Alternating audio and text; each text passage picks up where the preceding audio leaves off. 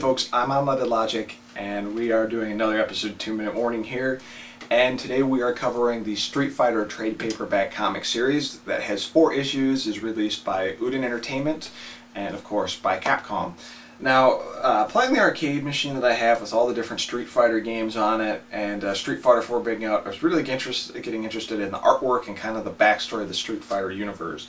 And these comic books do a excellent job of not only presenting the Street Fighter series in a artistic looking format, in a cool hip format, but uh, the stories that they have in this really, really, really do a great job explaining the backstory of characters and how they um, are all separate by their own means, but are also kind of all intertwined.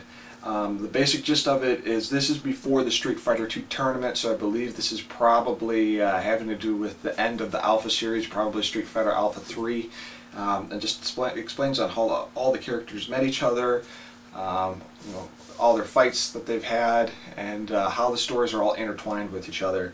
But the artwork is phenomenal, the storyline is phenomenal.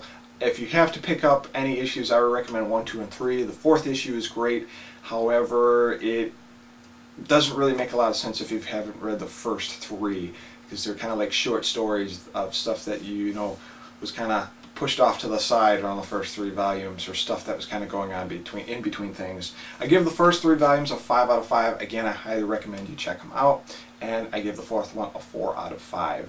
This has been another episode of 2 Minute Warning. Peace.